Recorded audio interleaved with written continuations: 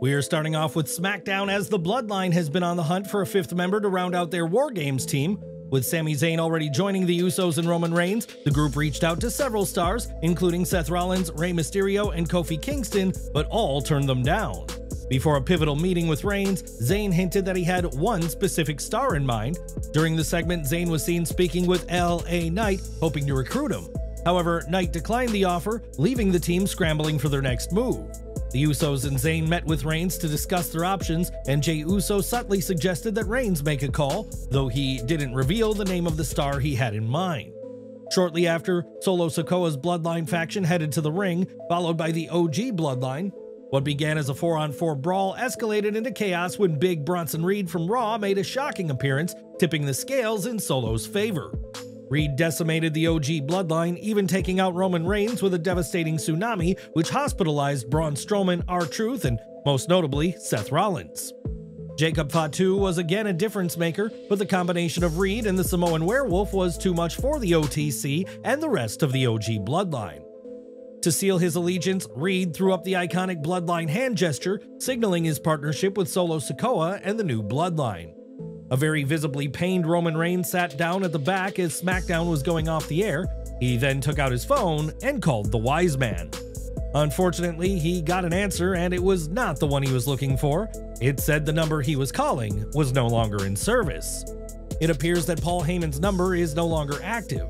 The very fact that Heyman was discussed on the show is an indication that WWE planted a seed for his return, but the big question is, whom will he side with? Do you think the powerhouse duo of Bronson Reed and Jacob Fatu will shift the balance in the upcoming Survivor Series War Games match? Share your thoughts in the comments below. For details on the OG Bloodline's fifth member, check out our November 18th Raw spoilers in last week's video, link in the description.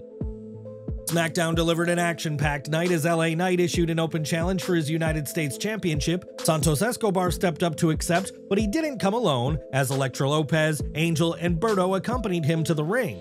Escobar cut a brief promo, but Knight dismissed him, expressing his preference to face Berto instead. Before the match could begin, Berto blindsided Knight, launching a pre-match assault.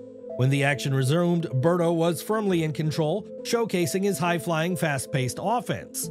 Despite their similar stature, Berto's agile style contrasted sharply with Knight's more diverse, methodical approach. The two delivered an entertaining back and forth bout that highlighted their chemistry. Ultimately, Knight sealed the victory with his signature BFT to retain the title. While the match was solid, an extra few minutes could have elevated it to one of the week's best encounters. Post-match, the crowd erupted as Shinsuke Nakamura made a shocking return after seven months, attacking Knight and setting up what promises to be an intense feud for the US title. Fans will recall that Nakamura, drafted back to SmackDown earlier this year, had been absent from TV, appearing only in dark matches and live events during his hiatus. With Nakamura now targeting Knight, the United States Championship scene is heating up, a welcome change for a title that's lacked strong storylines since SummerSlam. Do you think it's time for Shinsuke Nakamura to reclaim championship gold, or should LA Knight continue his reign? Share your thoughts in the comments below. Now, Kevin Owens has been on a relentless and destructive path for some time now, as the former Universal Champion recently betrayed his friends Cody Rhodes and Randy Orton. After attacking Rhodes following bad blood, Owens took things further on SmackDown, decimating Orton with a brutal piledriver that left the legend seriously injured. On this week's SmackDown, Cody Rhodes called Owens out, but instead, SmackDown GM Nick Aldis made his way to the ring. Aldis explained that the situation with Owens was being addressed backstage and that Cody wouldn't be able to confront Owens until things were resolved. Cody Rhodes then said that Kevin Owens is not going to get the right message by being sent home. He said that Owens drives a Lamborghini, so he's not going to feel it in his pocketbook to miss a few weeks. Then Aldis said that Owens can't be there until this situation is resolved internally. Rhodes said if he can't handle things in a WWE ring, then he could fly to Kevin Owens' house and beat his ass front yard. During their exchange, Cody dropped an intriguing comment, calling Aldis a former wrestler before quickly correcting himself, saying that Aldis was still a wrestler. An interesting remark given the speculation that Aldis might return to the ring in the future. In the end, Cody made it clear that Owens wouldn't be held back for long and issued a stern warning to Aldis. Shortly after, Owens posted a lengthy video on social media expressing his frustration and tagging Triple H, Stephanie McMahon, and others. Owens started off by saying, You know, it's getting harder and harder to do my job because I keep suffering consequences for things that are absolutely not my fault. The two minute video, captioned Injustice, showed Owens sitting in his car outside the Fiserv Forum in Milwaukee where SmackDown was taking place.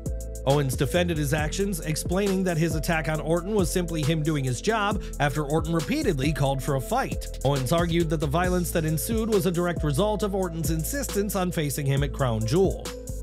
I did exactly what Triple H tried to warn Randy Orton about, Owens stated. And last week, I did just what they asked me to do. Randy showed up, called me out, and I responded. Now I'm in trouble because I put Randy Orton on the shelf? That's nonsense. It's not fair. Owens also took aim at Aldis, criticizing him for siding with Cody Rhodes, who demanded that Owens appear on the November 22nd SmackDown to face him. Despite his frustration, Owens confirmed he would show up to the Salt Lake City episode, but made it clear that he was doing it on his own terms.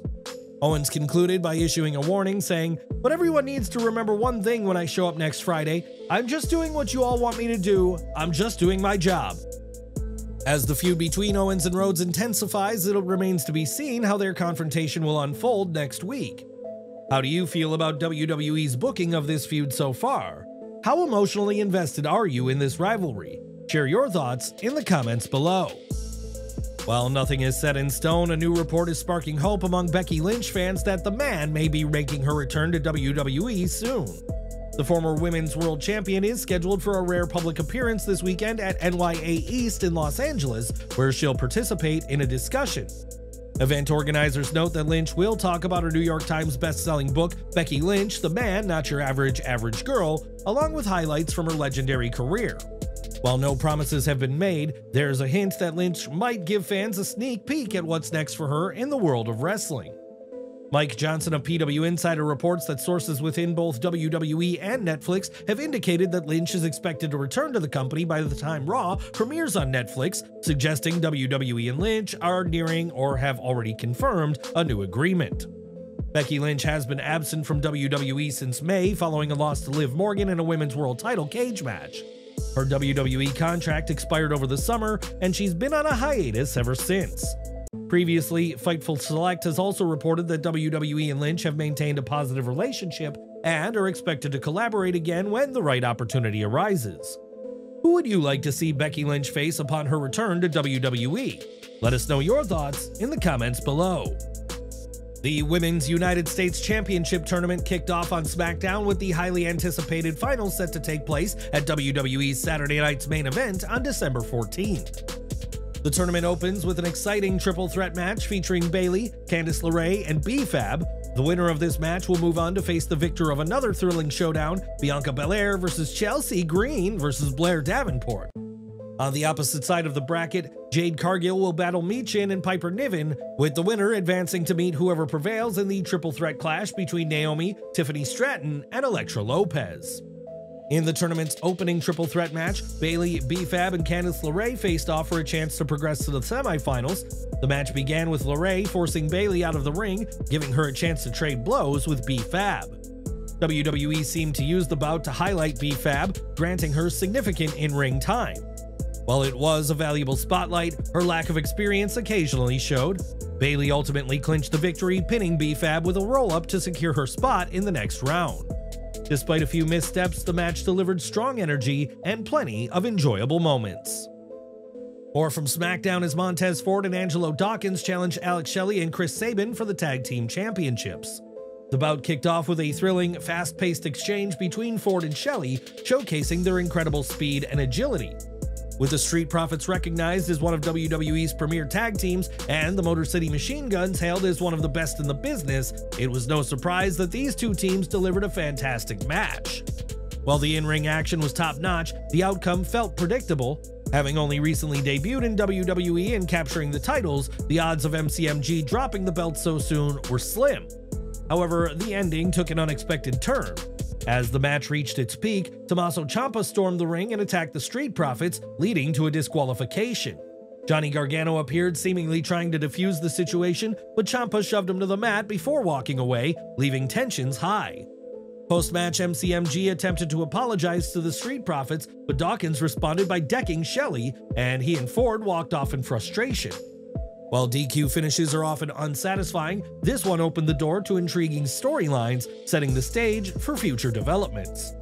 How do you rate the booking of the tag team division thus far? Sound off in the comments below. The main event of this week's SmackDown featured Naomi challenging Nia Jax for the WWE Women's Championship. While Tiffany Stratton accompanied Jax to the arena, she chose not to join her at ringside. The match began with Naomi landing a dropkick, but Jax quickly overpowered her, driving her into the corner with forceful shoulder thrusts. The early minutes were dominated by Jax's raw power, but Naomi turned the tide with a high-impact suicide dive just as the show cut to a commercial break. During the break, chaos erupted backstage as Liv Morgan and Raquel Rodriguez ambushed Jade Cargill and Bianca Belair, taking out the women's tag team champions in a surprise attack. Back in the ring, the action escalated when Tiffany Stratton ran down and blindsided Naomi, throwing her back into the ring for Jax to capitalize. However, Naomi fought back, kicking Stratton away and nearly securing the victory after reversing a top rope maneuver. The intensity increased when Bayley entered the fray, attacking Stratton as Naomi came close to another pinfall. The crowd erupted as Naomi hit a split-legged moonsault for a near fall, sending shockwaves throughout the arena. As Naomi climbed the ropes to seal the win, Candice LeRae appeared and attacked Bayley, causing a distraction. This gave Jax the opening she needed, delivering a devastating Samoa drop from the top rope, followed by her signature Annihilator to retain her title. The controversial ending highlighted the growing complexity and rivalry within the SmackDown women's division, leaving fans buzzing about the chaotic state of affairs. What's next for Naomi and the rest of the division? Share your thoughts in the comments below. Before tonight's SmackDown, WWE Speed's latest match was taped, resulting in a new champion being crowned. Dragon Lee, who recently earned the number one contender spot by defeating Akira Tozawa, took on Andrade for the title. In a thrilling contest taped prior to SmackDown, Dragon Lee emerged victorious, claiming the WWE Speed Championship and becoming the third ever champion in its history. The inaugural champion Ricochet won the title in April after defeating Johnny Gargano in the first ever tournament final. Ricochet later lost the title to Andrade in June. Although the match between Andrade and Dragon Lee is yet to air on Twitter, it has already been confirmed that Dragon Lee is the new WWE Speed Champion. In addition to this new title, Dragon Lee is also a former NXT North American Champion. In this week's post SmackDown Dark match, the LWO duo of Rey Mysterio and Dragon Lee challenged Finn Balor and JD McDonagh for the World Tag Team Championship. The match saw interference from Carlito, prompting Braun Strowman to come out and even the odds. As a result, the title match transformed into a six-man tag team contest. Braun Strowman, Dragon Lee, and Rey Mysterio ultimately defeated the Judgment Day, with Carlito being the one pin. After the match, Dragon Lee took an apple and shoved it into Carlito's trunks, delivering a humiliating moment for the former Intercontinental Champion. While dark matches often see the babyfaces triumph in dramatic fashion, this moment was a crowd pleaser, especially after the earlier heartbreak of Naomi's loss to Nia Jax on SmackDown, despite interference. It's clear that not everything is going smoothly for the Judgment Day, and tensions are building within the faction. Now, Vince McMahon has officially stepped down from all his roles at TKO, including his positions as executive chairman and board member, following serious allegations from a lawsuit filed by former WWE employee Janelle Grant. While McMahon has strongly denied the accusations, the situation has significantly altered his role with the company. Despite his resignation, McMahon remains financially tied to TKO, as according to an SEC 13G filing, he retains 8,021,405 shares as of September 30th, 2024, representing 9.88% of the company's Class A stock. The filing was required due to his stake exceeding the 5% ownership threshold that mandates public disclosure. However, McMahon's influence is now strictly symbolic as he no longer holds voting rights in the company. In a recent interview, TKO COO Mark Shapiro shared that he had breakfast with McMahon, noting that while McMahon's presence is still felt, his days of wielding power within TKO are over. Shapiro emphasized, McMahon's role in TKO is done. However, Vince McMahon isn't fading into obscurity. Reports indicate that he's already planning his next venture, a new entertainment hub company. This project is expected to focus on funding and producing both fictional and non-fictional film and television content, steering clear of wrestling. Rather than creating a WWE 2.0, McMahon's latest endeavor aims to broaden its focus and spotlight a diverse range of entertainment projects. In NXT news, the November 12th episode of NXT featured an intriguing segment involving Shawn Spears and Brooks Jensen, who appeared at a restaurant where Tony D'Angelo was dining. During their encounter, Spears voiced his concerns about the North American Championship, noting parallels to situations he had witnessed in the past. He cautioned Tony, making it clear that while he had overlooked certain matters twice before, there would be no third chance. Spears also commented on Tony's expanding family. In response, Tony proudly reflected on his journey, stating it had taken him three years to conquer a monster and claim the coveted title. Spears explained that this is why Brooks deserved a title shot. Tony told Brooks to think for himself. Spears said he never questioned Tony's decisions and expected the same respect in return. He added that his hunger for success would only be satisfied by winning the North American title. Spears told Brooks, That's how you deal with the boss. Then he turned to a driver and asked if that was the right way to do it, and the driver agreed as they all drove away. According to Dave Meltzer in the Wrestling Observer newsletter, the person driving the car with Brooks Jensen and Shawn Spears on NXT this week, who wasn't mentioned on TV, is Skylar Clinton, and it is noted that he is now going by the name Niko Vance. We'll have to wait and see how WWE will continue to book Shawn Spears and Brooks Jensen's current feud with Tony D'Angelo, as Niko Vance's inclusion has certainly made things interesting. Since 2013, the WWE Performance Center has served as a training ground for WWE talent and a venue for aspiring wrestlers to participate in tryouts. Since late 2020, it's also been the home base for WWE's NXT brand. Recently, the Performance Center welcomed an unexpected visitor, sparking curiosity within the wrestling world.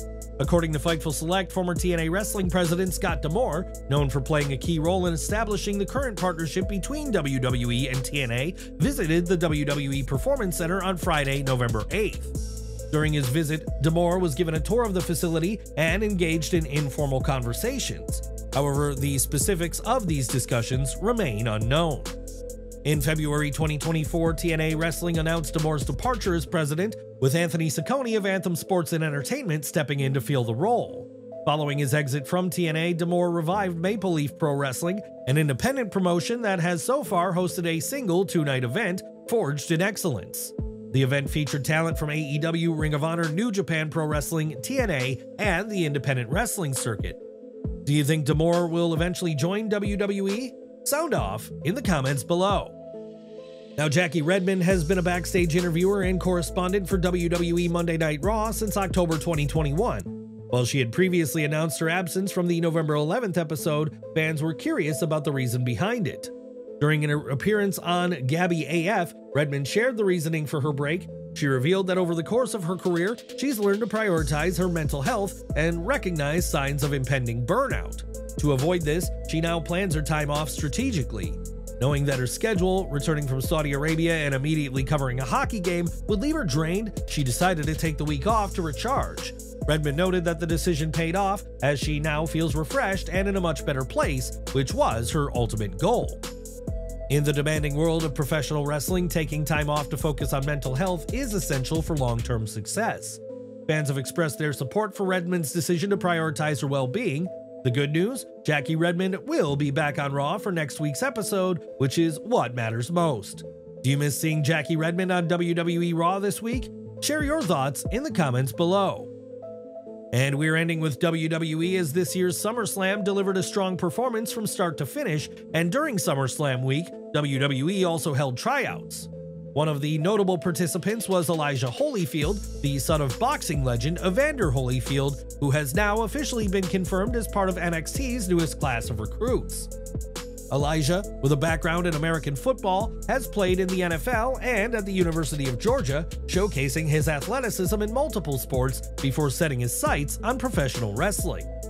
While it wasn't initially clear whether he had passed the tryouts, WWE NXT's official Twitter account recently shared a photo of their latest recruits, which included Elijah Holyfield. This confirmed that the son of the boxing icon is now on track to become a WWE superstar. The post read, The future is looking bright, a sentiment many fans shared. Lance Anoa'i, another recruit, was also spotted, though this was expected after it was previously reported that he had signed with WWE. Now all eyes are on Elijah Holyfield as he embarks on his WWE journey with plenty of potential for what lies ahead.